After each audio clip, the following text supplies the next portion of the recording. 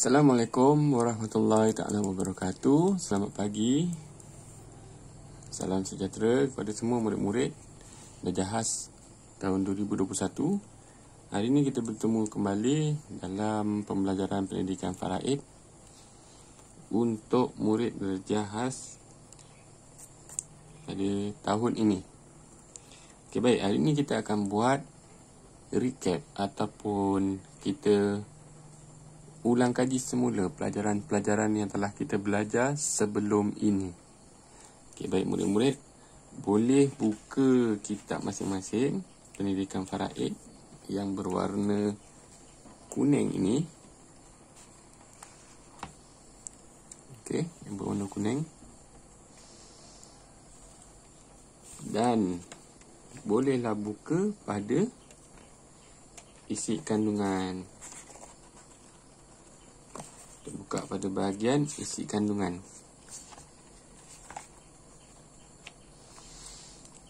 Okay, apa yang anda nampak di depan ni adalah isi kandungan untuk pendidikan faraid. Pendidikan faraid ni ada ada 11 eh. Ada 11 pelajaran. Pelajaran 1 pengenalan faraid, pelajaran 2 waris, Pelajaran 3 Ashabul Furud. Pelajaran 4 Asobah. Pelajaran 5 Hajibun Pelajaran 6 Penentuan asal masalah Dan mengesahkannya. Pelajaran 7 Aul.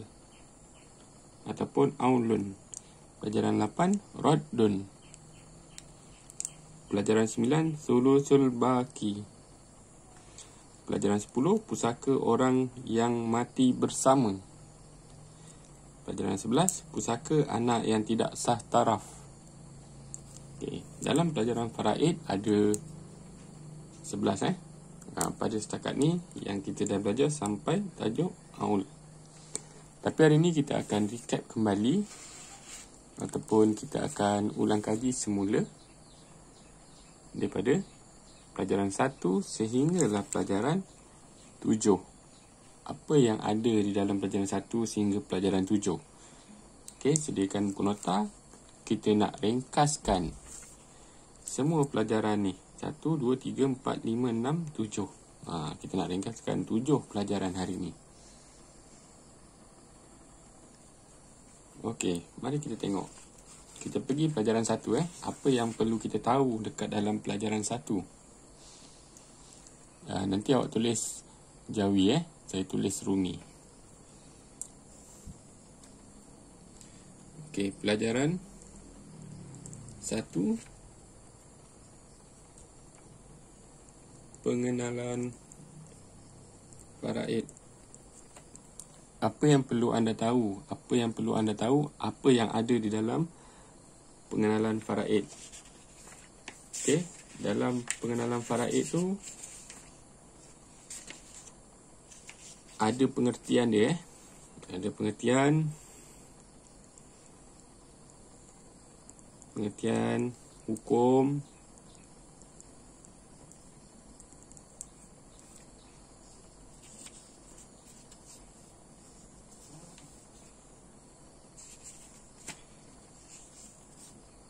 hmm, hukum pelajari ilmu faraid adalah fardu kifayah. Ha, setiap kita mesti mempelajari ilmu faraid. Hmm. Lepas tu ada sumber. Sumber ni maksudnya uh, mana kita nak tengok, uh, mana kita nak cari ilmu faraid ni. Daripada mana kita nak cari ilmu faraid ni. Daripada mana kita nak cari sumber hukum dia, eh, sumber ilmu dia adalah daripada Al-Quran dan juga hadis lah. Ha, ada dua eh, hukum dia.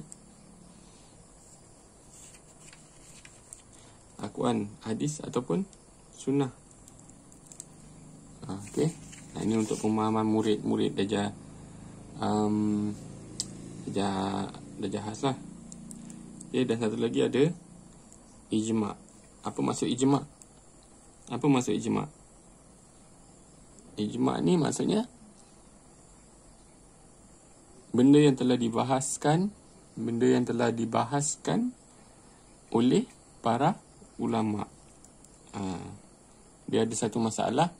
Masalah yang timbul uh, masalah baru. Zaman Rasulullah dulu tak ada masalah. Tapi masalah tu datang apabila macam zaman sekarang lah kan. Ha, masalah zaman sekarang. Ha, jadi ijma ulama ni ataupun orang-orang yang mahir dalam bab-bab agama dia akan bermesyuarah untuk mencari untuk mencari jawapan bagi masalah-masalah baru. Ha gitu. Itu yang ada dalam pelajaran satu. Okey, kita habiskan. Okey, kita masuk pelajaran dua. Pelajaran dua kita ada apa pula? Kalau kita tengok dekat ha, kandungan pelajaran dua adalah waris. Okey, dalam pelajaran dua, apa itu waris? Hmm, apa itu waris? Waris itu adalah orang yang berhak berhak menerima harta si mati. Ha, siapa yang berhak?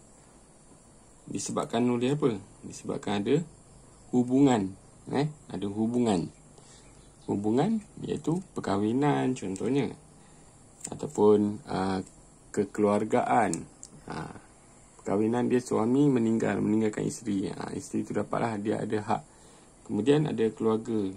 Uh, keluarga tu contohnya adik beradik bapa dia ke. Uh, contohnya tu eh. Ataupun tuan ataupun hamba. Tuan dan hamba. Uh, itu itu maksud waris. Waris tu adalah orang yang berhak menerima. Okey. Okay, seterusnya kita pergi kepada pelajaran tiga. Pelajaran tiga adalah Ashabul Furud. Ashabul Furud ni maksudnya apa? Okey, bahasa bahagian waris. Ha, bagi saya yang mudah adalah bahagian bahagian waris. Waris dapat bahagian dia berapa? Ha, kalau awak contohnya eh, ha, 1 per 4, 1 per 2, 1 per 8. Ha, ni bahagian eh, as, ashabul furud. 1 per 3, 1 per 6, 2 per 3. Ha, ni ashabul furud eh. Awak kena tahu. Ini semua awak kena hafalkan. Paling basic yang ini awak kena hafal 1 per 4, 1 per 2, 1 per 8, 1 per 3, 1 per 6, 2 per 3. Okey, itu adalah pelajaran 3. Seterusnya kita pergi kepada pelajaran 4. Nanti awak salin balik dalam tulisan jawi eh. Okey, pelajaran 4 kita akan belajar tentang asobah. Hmm, apa itu asobah?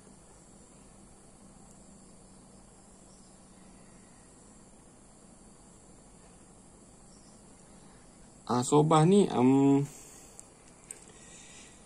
dia ada dua. Satu dua. Uh, sobah dia dia mengambil semua harta. Uh, sobah ni kira waris tu mendapat semua harta. Uh, waris tu mendapat semua harta. Eh uh, asobah tu maksudnya mendapat semua harta lah. Ada dua cara untuk mendapatkan harta tersebut. Yang pertama semua harta. Yang kedua, baki. Okey, asobah ni tak ada pilihan lah. Asobah ni kira tiada pilihan. Memang untuk dia saja. Ha, gitu. Okey. Sebabnya, si mati tak ada waris lain. Ha, contoh saya saya seorang lelaki kan. Ha, isteri saya dah meninggal contoh. Mak ayah saya pun dah tak ada. Kemudian saya hanya ada anak seorang saja. Anak seorang anak lelaki seorang. Ha, dia akan dapat semua harta lah. Ha, gitu. Dia tiada pilihan. Ha, itu yang dipanggil sebagai asobah. Okey, terus. Okey, pelajaran pelajaran 5. Pelajaran 5 kita akan belajar berkenaan dengan hajbun.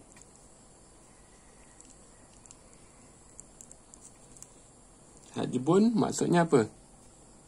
Penghalang.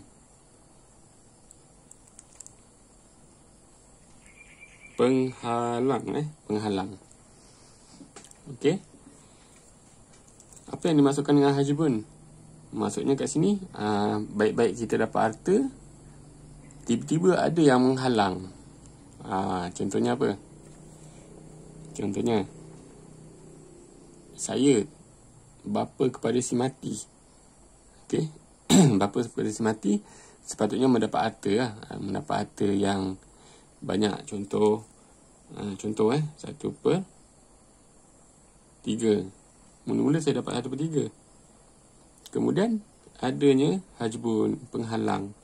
Adanya anak kepada si mati tadi. Maknanya cucu saya. Tiba-tiba ada cucu saya. Ha, jadi saya ni dihalang untuk mendapat satu per tiga. Mungkin saya dapat lebih lebih kurang. Eh, mungkin saya dapat kurang daripada satu per tiga. Ha, mungkin saya dapat Contohnya kalau tak ada penghalang Saya dapat seratus. Tapi tiba-tiba ada penghalang Saya hanya dapat lima puluh saja. Ha, macam itu maksud dia. Hajbun ni adalah penghalang, pendinding. Okay, seterusnya. Pelajaran 6. Kalau ikut ilmu faraid ada jahaz ni, dia telah menyusun eh, dia telah pelajaran ni semua telah disusun satu persatu. Daripada sikit, lama-lama kita bila kita belajar sikit, lama-lama dia akan naik naik naik naik. Lama-lama dia akan banyak banyak banyak. Kemudian awak akan mahir untuk mengira bahagian pusaka anda nanti. Okey. Sebelum uh, ayah awak meninggal ke awak dah tahu dah bahagian awak berapa bila awak belajar betul-betul lah. Ha. Jadi ini bukan kita belajar untuk uh, merebut harta tapi kita belajar ini adalah fadu supaya yang kita perlu tahu. Ha. Supaya apa? Supaya andai kata besok ayah kita meninggal. Eh, harta tu yang lebih adil yang adil dan yang paling terbaik adalah pembahagian melalui faraid. Okey, pembahagian melalui faraid sebab faraid itu datangnya daripada Allah SWT dan diturunkan dalam Al-Quran, sunnah, ijma'. Dia yang paling adil. Okey, kalau awak tak nak ikut melalui faraid, awak boleh bahagi saja begitu. Begitu saja pun boleh. Tetapi dia akan mendatangkan masalah yang mendatang. Contohnya ketidakpuasan hati. Okey, contohnya abang awak dapat rumah, awak dapat kereta. Rumah tu nilainya makin lama makin naik. Kereta yang awak dapat makin lama makin lama harganya makin turun. Ha, ketidakadilan.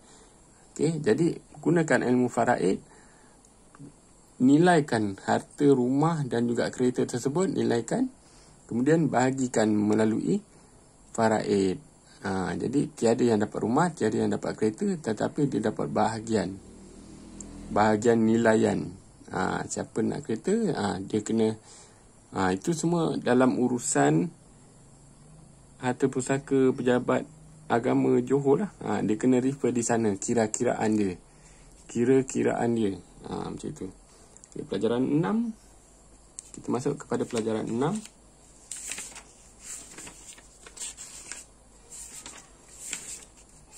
Pelajaran lima ni tadi paling banyak eh. Ha, paling banyak tu awak kena tahu siapa menghalang, berapa nilai yang dihalang tu ha, dan sebagainya lah. Okey, pelajaran enam adalah penentuan asal masalah. Okey, kalau awak dah belajar dengan saya, ha, kita belajar macam ni kan, garis-garis macam ni.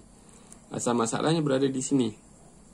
Asal masalah dua ha, asal masalah ada berapa ada dua ada tiga ada empat ada enam ada lapan ada dua belas ada dua puluh empat Ha, itu je asal masalah, penentuan asal masalah. Okey, ha, ni waris. Ni siapa, ni siapa. Ha, tu pelajaran 6. Asal masalah ni eh. Ha, asal masalah. Okey, kemudian kita masuk kepada pelajaran pelajaran 7. Pelajaran 7 adalah aul. Okey. Apa maksud aul? Aul ni atau aul ni kalau ikut jika ikut kefahaman saya aul ni uh, ketidaksamarataan, ketidak tidak sama rataan pembahagian harta tersebut. Ha, sebab tu timbulnya aul. Okey. Sebab tu timbulnya aul. Okey. Aul ni dia berada di mana? Okey, contoh kat sini eh. Dia sama juga macam yang atas ni. Cumanya bezanya aul tu dia berada di mana? Okey, dia tutup macam ni kan. Okey, kat sini adalah ni adalah asal uh, ni adalah asal masalah. Okey, bila kira-kira total semua sekali dia tak sama dengan ni. Okey, dia tak sama dengan asal masalah. Dia lebih pula. Ha, dia lebih kita keluarkan kat sini. Okey. Ha, aul dia apa? Contohnya dia terlebih daripada asal masalah. Ini yang dipanggil sebagai ha, yang dipanggil sebagai aul. Okey, awak boleh tengok video saya yang sebelum ni macam mana aul tu timbul dan macam mana pengiraan aul itu dapat dibuat. Ha, begitulah. Serba sedikit berkenaan dengan uh, secara ringkas yang awak perlu tahu tentang ilmu faraid dan jahaz. Okey, itu saja untuk kali ini kita recap ataupun kita ulang kaji sampai pelajaran tujuh saja. Ini adalah yang awak nampak ni adalah nota ringkas yang saya buatkan secara ringkas lah selama 20 minit. Jadi awak salin semula dan jika video ini bermanfaat jangan lupa untuk tekan butang subscribe di bawah sini uh, share juga jika bermanfaat dan tuliskan nama anda di ruangan komen tekan like okay. yang pertama awak kena subscribe tekan like dan juga komenkan nama anda beserta kelas di ruangan komen di bawah Okey, itu saja untuk video kali ini. Sekian, Assalamualaikum warahmatullahi wabarakatuh. Bye-bye.